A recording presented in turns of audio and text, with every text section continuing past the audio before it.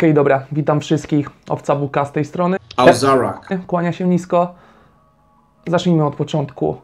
Dostałem pytanie od Daniela Frankowskiego na moim Instagramie, które Wam przeczytam teraz. Cześć owca, piszę do Ciebie, ponieważ mam niby proste, ale też trudne pytanie. Chodzi o to, że chodzę na siłownię już jakiś czas. E, Moim celem oczywiście było zrobienie masy, a potem fajnego wyglądu. E, Ćwiczenie na początku było przyjemnością, lecz jakoś po roku zaczęło mi brakować motywacji. Coraz rzadziej, rzadziej, rzadziej, odwiedzałem siłownię, a jak już to robiłem, to bez przyjemności, tylko z przymusu. Mam więc do Ciebie pytanie, co Cię motywuje do pracy nad sobą i dążenia do celu? Czy to tylko dobry wygląd, czy coś więcej? I jest to dobre pytanie, zdecydowanie dobre pytanie i myślę, że nie tylko e, Daniel zastanawia się nad tym. Dzięki Daniel e, za to, że do mnie napisałeś. Ok, co mnie motywuje? We wcześniejszym materiale z New Winter Games wspominałem, e, tam rozmawialiśmy o grach ogólnie. I ja z gier zawsze sobie najbardziej ceniłem element rozwoju, element progresji. I moje ulubione gry były to RPG, szczególnie osadzone w, jakiś uniwer- w jakimś uniwersum, które mi odpowiadało, którym się interesowałem, na przykład Gwiezdne Wojny, KOTOR i tak dalej. Sprawdźcie KOTORa, jeszcze raz to powtórzę. Knights of the Old Republic. Ale okej, nie lubiłem gier, kiedy progresja była tak zwana turowa, na chwilę i po turze traciłem to, co udało mi się wypracować. Lubiłem cały czas powoli odkrywać nowe rzeczy, przecierać nowe szlaki, rozwijać tą postać. I myślę, że to samo mogę powiedzieć, mogę porównać naturalną kulturystykę i trening siłowy do takich właśnie gier RPG. Co mnie najbardziej motywuje w treningu siłowym jest to element progresji, stałego rozwoju i zwykła ciekawość, co mogę zrobić naturalnie, a czego nie mogę zrobić naturalnie. Czy uda mi się kiedykolwiek podnieść 280 kg na, na martwym naturalnie, czy nie uda mi się tego zrobić na przykład. I też to, gdzie mogę zabrać swoją sylwetkę, jak nisko mogę zejść z tłuszczem, jak bardzo mogę się rozbudować. Przepraszam, podczas okresu masowego na przykład. Ale nie zawsze jest tak, że tą motywację mam oczywiście. Zauważyłem, że jest tak, że nawet jeżeli coś bardzo lubimy, przykładowo lubisz grać w gry, to nie potrzebujesz motywacji, żeby zagrać w tą grę. Po prostu robisz to, bo lubisz to robić. Ale czasami się wypalamy i nawet to, co jest nam najbliższe, przestaje być dla nas już aż takie ekscytujące, bo to jest rutyna, to jest normalne.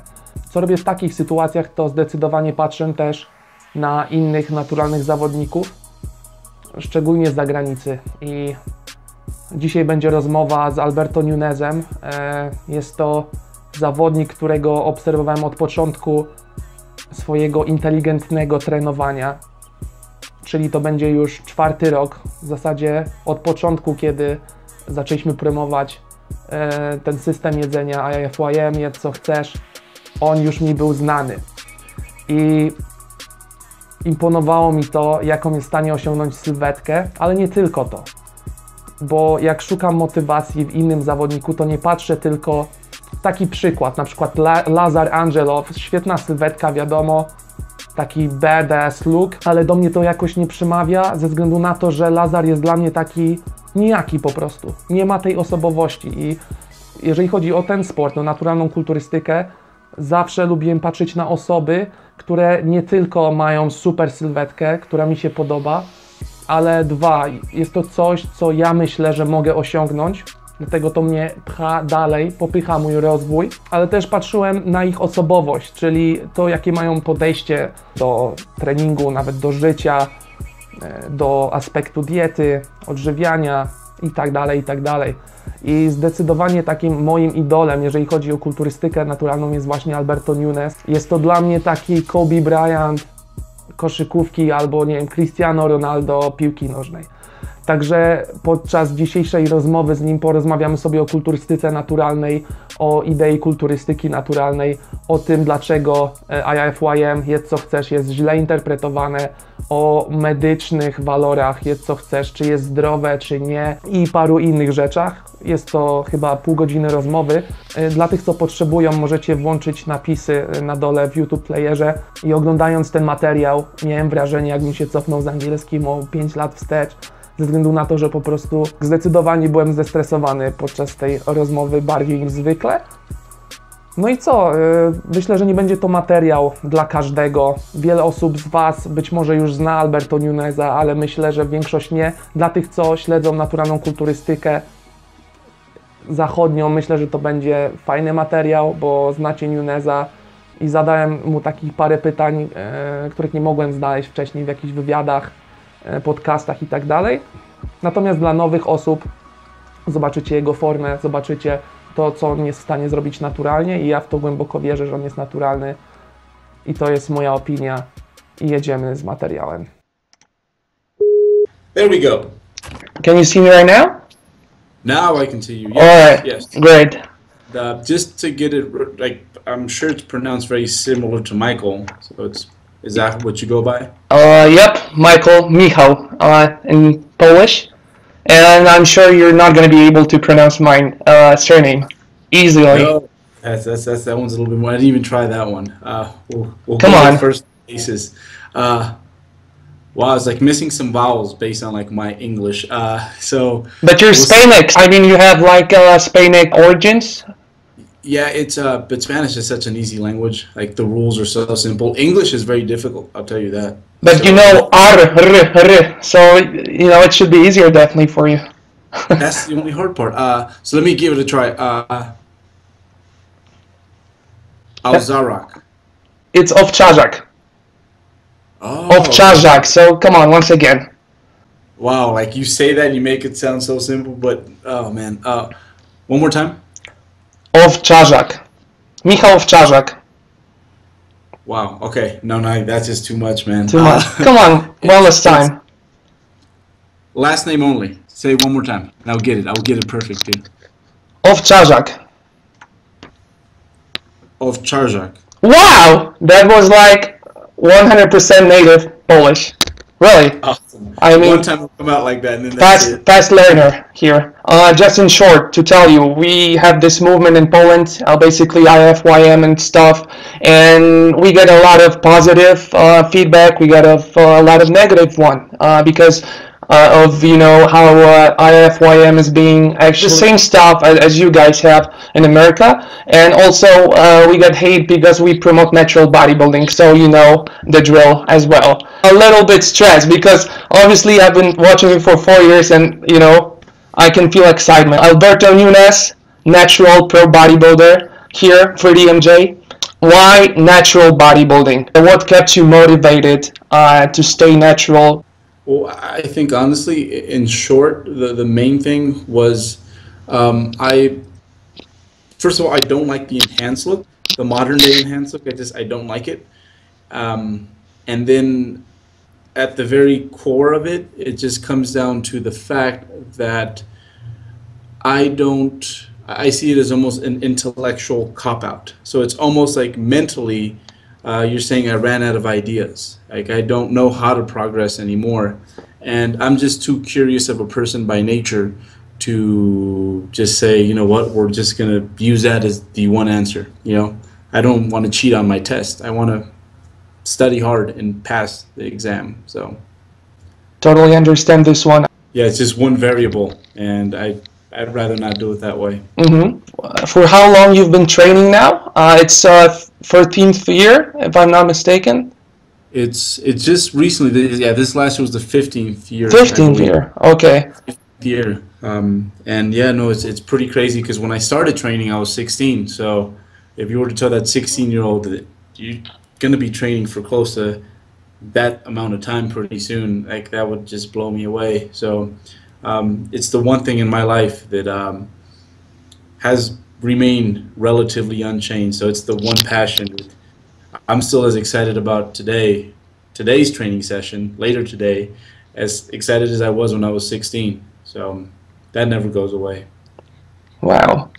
Um, and um, you know because uh, here in Poland uh, we get accused of uh, using drugs, and the main like the main thing is uh, that we gain too much weight over the course of the short uh, period of time. You know, so basically, let's say I, have gained uh, 18 kilograms, so that's about um, I don't know now. It's like okay, 50 pounds over the course of two years, and people seem to uh, not understand that this weight it's not only muscle. It's like uh, tiny percent of it is muscle. Most of it is glycogen, is water, and uh, uh, you know, I'm just curious. What is your what was your progress uh, within within the course of your first two years of training, two to four years maybe? What was your weight gain? Yeah, so I think um, well, initially once I kind of got done with sports, because um, I was always always trying to combine lifting with sports, and it doesn't always work well, especially when you're trying to gain weight to have other sports alongside of bodybuilding. But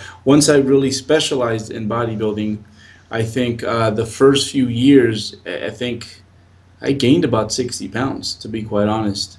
Um, and it wasn't all muscle, but you know, there was still it was a relatively lean gaining phase, and um, I think when you are starting out, that is probably something that you should invest in. Is perhaps a few periods where you let yourself get a little heavier than than maybe you would like, uh, or you think is best. Um, and then over time, obviously, um, you can just say the safest way to go about it or, or kind of project how much muscle you can gain is let's just say the first year is 30 pounds of muscle. That's a lot, by the way, but very rare. But let's just say 30. Then the next year, maybe 15, and then seven. And then you can just almost keep cutting it in half every year. Um, and that's a pretty good estimate. So I don't get as heavy anymore because I can't gain, you know, four or five pounds of muscle a year anymore the way I used to when I was a young man. Um, but um, we do still gain weight in the off season. It just kind of reflects more than ever how much what my growth potential is. So, which is very different between 15 years ago and now. Very different, actually. Uh, yeah, so basically now during your off season, uh, you like to swing on the weight that is basically allowing you to progress. But if you're going to go too far with your weight, you're going to actually lose on your performance. Is that correct? Yeah, yes. So if you go too far, eventually you have to go back and um, take that weight off. And um, one thing that, um, and this is this is something that I'm sure you can relate to, is that as you have become more advanced, uh, it's easier to lose those more advanced adaptations. Uh, meaning, you know, when you first started training, you can take a week off and you can come back nothing, right? Yeah. Start right. And now, if you do that, you come back, you feel it. So, uh, especially in the case of a more advanced bodybuilder, the more you have to diet off, the less ideal those conditions are for maintaining those adaptations, and you risk losing those. It's a lot easier to root to lose gains when those gains are on the more advanced stages. So, um, so yeah, as you become more advanced, it's probably more appropriate for you to not let yourself get much heavier. So, I would say that to be quite honest, my off-season weight gain compared to my stage weight is somewhere between, um, I'd say, seven to ten percent above my stage weight. That's as much as I let myself gain, and uh, I just progress between there because otherwise, I risk losing mm-hmm. a lot of those adaptations with a huge diet. All right. So in numbers, basically, your last show stage weight was how much? About 165. 165 and what is your current uh, you know i know you're swinging uh, i'm following you but you know like uh, an average weight now that you have during off season? Right now it's about 175 um, and the heaviest i got this off season was like low 180s um, so we're slowly building back up to that but i won't let myself get heavier than that point and then we just redo it again and uh, to tell you the truth, as I become more advanced, say in another 10 years, I could see that window getting even small, smaller, where you know perhaps I only gain between 170 and 175 and just kind of keep it there. Um, So very different from someone who is starting. Someone who's just starting, I'm like, no, be a little optimistic, put on some body weight, and see what happens. You might be a mass monster and you not know it. Would you agree on this? Uh, that during the first two to four years, most of people can uh, achieve 80% of what they are capable naturally. Uh, when it comes to muscle mass, you know, because of course, longer you're training, you get more details on your body, your skin gets uh, thinner, definitely. Uh, but just, you know, talking about muscle mass, will it be like 80%? Yes, no, definitely. The first two to four years, that's a good place to hang around. It's going to be about 80% of uh, the total mass. So you will kind of know within the first two to four years, will I be a really big guy? Will I be a smaller guy? Will I be a medium bodybuilder? So yeah, first two to four years kind of let you know. Um, and then after that, even though you don't put on as much mass like you said, a lot of those fun details come in. You know that that uh, dense, grainy look. You know that very complete look Mhm. starts to settle in, and that's when it gets really fun actually. Yeah, first I wanted to, to show you probably your most uh, popular photo. Uh, okay, so it's this one. Uh, can you see it? Oh, that one, yeah, that Yeah. Yeah. So what are your macros at this point? Um, I think that was second show that season. Um, so my fat, I think, was like at 35, 40. And then my carbs were, I think, right at 400. And then protein was at 200. So 35, 40, 400, and then protein at about 200. And I remember that day because I had just done a cardio session like that I really was not in the mood to do. And uh, I took the picture afterwards. I'm like, oh, that was worth it then, because uh, I had just started really going harder on my cardio. But so yeah, I remember that day very, very clearly. All right, and uh, what's what is the type of the cardio that you did? I mean, because I know that you enjoy just walking, uh, like us, basically here. Uh, that that's our you know preferable cardio.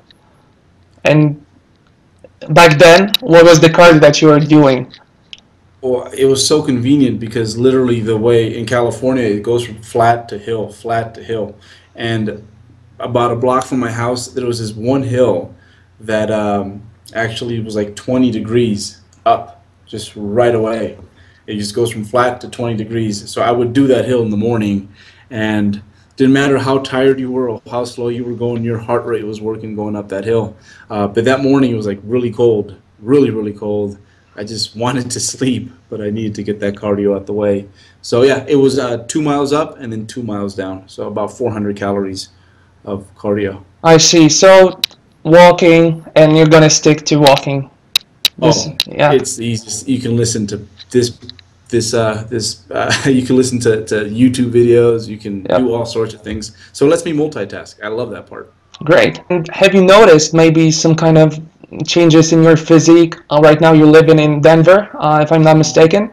Uh, so there's colder uh, out there uh, comparing to um, California, obviously. And uh, yeah, changes in your physique, maybe less vascularity, or you know what I mean. Yeah. Um, I think the first thing was like the higher altitude. I remember like any like set that was like eight reps, like I was feeling it. Like it was just weird. Um, so that part was took a little bit of getting used to to that. Um, and then um, everything else not so much. But the, sometimes when it does get colder here, uh, and I'm, I don't know why I'm complaining to you guys, but um, but it takes longer to warm up. It takes a lot longer to warm up. Yeah. You, know, you go into the gym and it's an extra 10 minutes of moving before you feel safe enough to squat or deadlift. But um, but yeah, that, that, those are the main things. The altitude at first. It took me a good month to like kind of be okay with that. And and how do you feel in uh, Colorado? Uh, you know, for example, when I go to Egypt from Poland, I feel much better because of the sun, the vitamin D. And when I Mhm. come back here during the winter time, uh, I, I just don't feel the same way. I just don't feel uh, this energy. Maybe you regret moving to Colorado. No, here's here's the thing about Colorado, and we don't like to tell the rest of the country this is that uh, we actually we're the state with the most sunny days. Uh, So how's that possible? Exactly. So it's it's it's weird because like it will snow, and then later it's like 60 degrees and all the snow melted. Okay, I see. It's really crazy weather. So you get sun like there's no more sun today, but you get sun at least once a day every day, which is pretty pretty nice. Um, All right, but, so uh, I didn't know yeah. about it. I just, you know, I imagine Colorado as a freezing cold state. I was born in San Francisco, California. I prefer the weather here than San Francisco. Okay, that's uh, that's interesting. Yeah, Ah. yeah, very different. Okay, IIFYM uh, origins. Uh, you know, I uh, heard some rumors on the web, some rumors about about Pop Tarts and uh, your thread on bodybuilding forums. Yeah, so let's let's uh, let's uh, clear me of all crimes. Um, the the whole Pop Tart thing was funny because that just really came from. Um, so when I used to run track and field, I would run the 400 meters, and that's just a painful race, very demanding, Yeah. painful race. And the only thing I could eat before it was Pop Tarts. Um, and I think ever since like that race, like or just running that race, I've always had this phobia of going to the gym with like a full stomach, even when dieting. Like I just hate feeling full when I'm in the gym. And um, during this one specific pre-contest diet, someone asked me, "So like, what do you eat pre-workout?" And I'm like, "Oh, Pop Tarts," because um, if I get two Pop Tarts in, I feel like I have enough carbs in me for that training session, and I don't feel full. So I like Pop Tarts, and that's the only reason why, really, was just because of that. And then uh, over time, they just kind of became the symbol for like the IIFYM movement, you know. Yeah. And people were eating Pop Tarts. They didn't know why they were eating Pop Tarts. They just knew they just. It was like uh, it's like being a rebel almost, right? It's just like I'm having you know Pop Tarts and Yeah. You know, laughing at the old school ways almost. But it was just because of that, because I could train in peace. Um, but yeah, yeah, I remember when the whole IIFYM movement started, and this was back in the bodybuilding.com message board forums in 2008. 2008. That was a long time ago. Long time ago, Uh, yeah. and now it's taken off. Back then, no one really knew what it was, just maybe that little community. And now it's big enough to the point where, as you know, it causes conflict with people who don't necessarily know what IIFYM or flexible dieting really is. Yeah, so let's talk about uh, whether you know IIFYM it's uh, healthy or not, uh, basically, and uh, just uh, your point of view uh, based on your career as a coach. You li- you like to be named Coach Nunez, right? Uh, So that's what they call me sometimes. Uh, yeah. it's still weak, but yeah. Uh, so basically, uh, let's say you have a guy that uh, has really large uh, calorie maintenance level, over 5,000 calories, and what do you think will be healthier?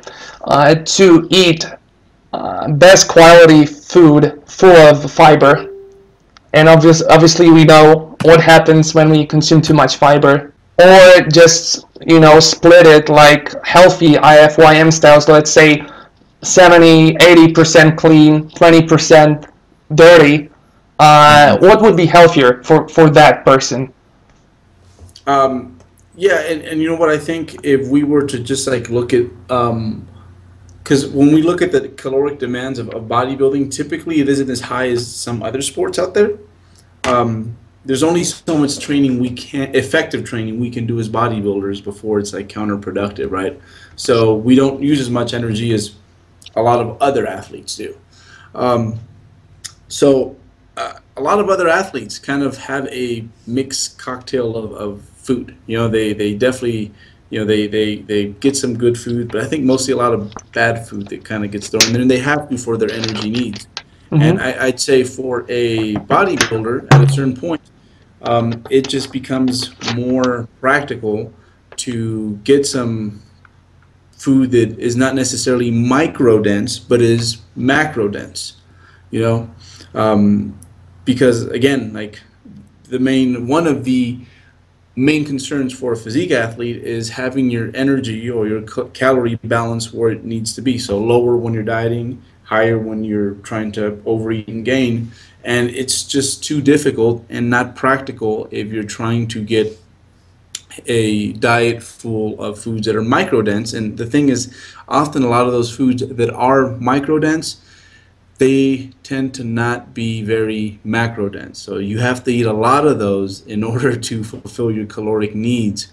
Um, so when it comes to just practicality, um, I think some athletes, especially during the gaining phase, and especially young active men, um, might need a good combination of like whole foods that are microdense and then foods that are not necessarily so microdense. People who diet using flexible dieting formats, is it just um, by default, just naturally because you are under eating, you're going to gravitate to a lot of foods that are not calorically very dense. The, those micro dense but not macro dense foods, you're just going to do that naturally without uh, necessarily thinking about it. And I'm sure you've experienced this on a diet where you could have that really yummy, tasty food, but at the end you decide to go with this one because it's more satiating and it, it uh, helps you stick to your diet, makes the diet a lot less stressful. Um, so that's the cool thing about I'd say about flexible dieting is that it teaches people to make decisions and make the right decisions. And I think that's something that kind of gets lost uh, when we talk about IIFYM and flexible dieting is the fact that it teaches you to make good decisions for yourself. And it teaches you to look beyond like the menu and the paper and just what's on here. It educates the person. And I think that's why a lot of coaches that, or athletes, bodybuilders that train other people don't want to necessarily like either learn about flexible dieting or teach the flexible dieting approach because there's an educational component to that. We have like few gurus here in Poland, medical nutritionists. They have really vast knowledge over many metabolic diseases. I definitely will give them a credit, but um, actually, what they're telling is that counting macros doesn't make sense. And it just it blows my mind. Basically they're saying that eat uh, whatever is healthy raw meat just non-processed food uh, and stuff. Don't count macros and you'll be fine. So okay it's better to overeat over the course of 10 years with perfect uh, food selection or maybe just not be so perfect at food selection and count macros and actually uh, not to put on excessive weight because people do not realize that uh, your blood markers sorry will improve uh, whenever you will lose fat right? And uh, you know same question about you know your trainees uh, from your from your coach perspective how that thing works on your trainees. Yeah and that's an excellent point. I think uh, a big way and that's just, this is just kind of how the whole um, uh, I guess the nutrition industry has has worked for a while. Is that like it's yes or no foods, bad foods, good foods, um, you know, very black and white. And again, the I think the, the thing about flexible dieting that uh, is like I'm sure you've gotten this question at the gym is like you know what do you eat, how do you do it, and they, they want a one word answer. They want you to say something like I stopped eating gluten and all of a sudden I got lean you know and the truth is that when um, when you decide to commit to a flexible dieting format is that there's going to be some education that takes place. And i'm sure that um, for you like if you look at your flexible dieting a few years back compared to now it's changed. And it's always going to constantly be changing. It's an adaptive diet and that's why it's so successful because it changes to when you're four weeks out from the show to when you know you're like deep into your off season where uh, to you know maybe you have a a maybe you're dieting for fat loss and you have a uh, dinner with the family you know? So it's very very adaptive. And to me it, it, it can be a lot of hard work to teach a person how to be that flexible to be that adaptive uh, and it might take a while and they might be discouraged at times, but usually most people that go through with it two to three years later, they're very glad that they did it this way, that they are really, really flexible, that um, again, the diet adapts to them almost and not the other way around. What's the point to train if you're a slave? Exactly. yeah, you do this because it makes you happy, right? Yeah, definitely. I want to have something good after the workout, you know? I want to reward myself. Of course, if I'm closer to competition, I know that uh, I need to be picky with, with my food types, you know. But you know, if I'm during off season and I really do not care as much ab- about my uh, fat, it, it just uh, makes this whole experience uh, much better overall. Uh, there are many people not blessed with your metabolism. How much calories you actually consume during uh, the contest prep?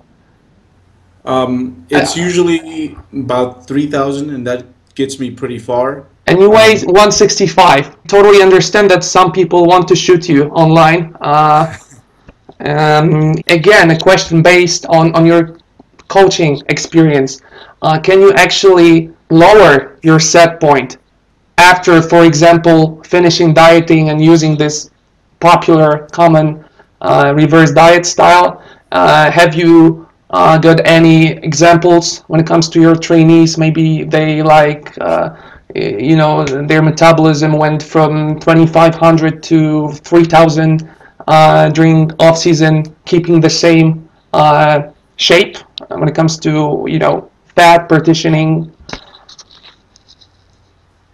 You know, the the your physiological uh, set point that's just kind of in your DNA. You know, and that's just basically um, that line that your body has to draw. Where if we get under this, we're going to assume that you know we're starving and you know life isn't good right now.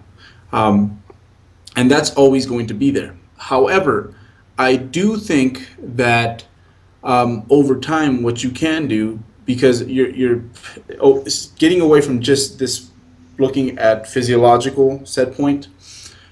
You're um, a lot of it comes down to psychology, and what I mean by that is just improving upon our everyday habits. Um, and this is something that you will see over time that um, you just get better at adherence. You get better at perhaps um, not using uh, using a more moderate surplus. All those things I think over time improve. So uh, maybe uh, one thing that I will see frequently is not necessarily calories going up because, for example, over the last four years, I've lost about three or four hundred calories off my maintenance, and the main reason is because I used to work a much more active job. I used to work with uh, children primarily, and uh, they will keep you busy. So that's where my 400 calories left is from running around with kids. Um, but I'm leaner now in the off season than I was then, and I think a lot of it has to do with just I'm better at adhering to a diet, and a lot of that has to do with the fact that I use a flexible dieting format. I'm able to format and adjust a diet to a way that uh, lets me stick to it and lets me keep a body composition that I like. Um, but a lot of that is is more behavioral stuff, um, and I think that's why, like I tell my athletes that this these are your macros. This is kind of what I want you to do, but the athlete is the last person, the final customization. You know, they decide like what like how much meals they should have per day, how much meals they how much food they should have pre-workout, post-workout, those sort of things. So that's one thing that I think potentially can help a person stay leaner in, in the gaining phase is uh, just really paying attention to what helps him adhere. Um, because adherence is an issue. Sticking to a diet is an issue for just not just people that go to the gym, but some of my most advanced bodybuilders that I coach. A big part of it is, is even with them is like learning to stick to a diet. Um, so that's one thing you will hear about flexible dieting and IIFYM is like, oh, you people just, you know, want the easy way out. Uh, but the truth is, uh, human will. There's only so much of that to go around, right? And um, I've known too many people that have burned themselves out to the point where they're no longer even in the sport because Yeah. their diet format was too rigid. Um, so long, long answer is that I think set point can't change, but what we can work on is like on ourselves mentally. Um, and I think that's one of the reasons that I'm much more leaner in the off season now than I was five years ago. It's just mental uh, maturity. I know what I can handle, what I can't, what I can handle, uh, and what how to set myself up for success. So, uh, from the physiological uh, point of view, you cannot change your set point. It's only about mental uh, kind of capabilities, right? And uh, yeah, and it doesn't adherence. necessarily mean learning learning to tolerate more. It just means putting yourself in a better position. All right. Just wondering, uh, when you're like, uh, let's say, one week uh, out from your show, how do you feel? I mean, what what are your uh, energy levels? Yeah. Um, so I think um, my biggest thing for me personally when I am dieting for a show is uh, my blood my blood sugar levels are just kind of all over the place. And uh, like one minute I'll be like really high up and doing well, Mm-hmm. and the next minute it's like I just I don't want to move. Um, so that's probably my first biggest issue is just that it's kind of all over the place. Energy is just kind of up down up down like instead of just like this. Yeah, I think it's it's uh what ends up happening is that you're so insulin sensitive, especially skeletal muscle, that it all goes straight into the muscle, and then like the blood sugar levels are just like Yeah. it's like your body's like throw more in there, um, Mhm. but you can't because you're dieting, obviously. Um, so I, I'd say that's the first thing, and then um, I, I'm a lot less patient when I'm dieting. Those are probably the two main things that I get. Everyone's symptoms are going to be very different. Some people, um, you know, have it worse than others, but I'd say probably those are the two main things: my blood sugar levels, and then I just become very not patient. I mean, if you were to tell me like a girl or, or like pizza without macros, I'd be like, oh, pizza without macros. Exactly. yeah. So so about the same Yeah. here. Um, Yeah. I Oh. think that goes for anyone who's dieting. yeah. Yeah. so uh, one, th- I, I really need to plug in those those books because um, I think for me, like that's probably the thing that I am most not necessarily jealous of this like generation, but I'm like I really wish you kids like would understand how fortunate you are. Um, and, and those books to me, they're they're they're like I could have skipped over the first eight years of just like trying really hard, and that's basically what made me progress was the fact that I wouldn't quit and try very hard. Um, they're just they're they're brilliant, and I think especially for to the natural athlete, training is so important. Training is you know you hear that it's it's um, it's uh, what is it 80% nutrition 20% training and like to me like you can probably turn those around and it's probably the other way around where if you were to tell me like so train really hard and not watch your nutrition or watch your nutrition hit your macros every day and not train. I'll probably train really really hard and not watch my nutrition and i'll get some really good results. And what that pyramid book does is it it's going to help you organize your training in the most efficient effective way. So um, yeah to me it's just one of those things where in a sport where i think more than any other sport out there we, are so dependent on science and making and science is what's going to really help elevate the sport. It's just funny to me that sometimes we don't choose to look that way. Um, so to me yeah those books eric Thomas Pyramid series. Just it's the greatest thing to happen to bodybuilding in the last i'd say five years. Um, I think I might have six months left of off season, and then I start my diet. And I'm really excited to, if I end up dieting, to I think this time is going to be by far the best ever. And I just want to prove to people that um, you can progress even like really late into your bodybuilding career. Um, so that's what I'm excited about. I'm excited. It's always exciting as a coach show people you do this too. So I'm excited to like and there's a little pressure obviously it's because I need to do something. If I don't something, probably people can be like, oh, they don't know what they're talking about. Um, so I'm excited to prove it. So in six months we start a diet, I think. All right then. So uh, Alberto, because we're losing connection once again, thank you very much for your time. All right. If I'm ever over there, we'll, we'll lift some weights and eat protein or something. Okay. All right then.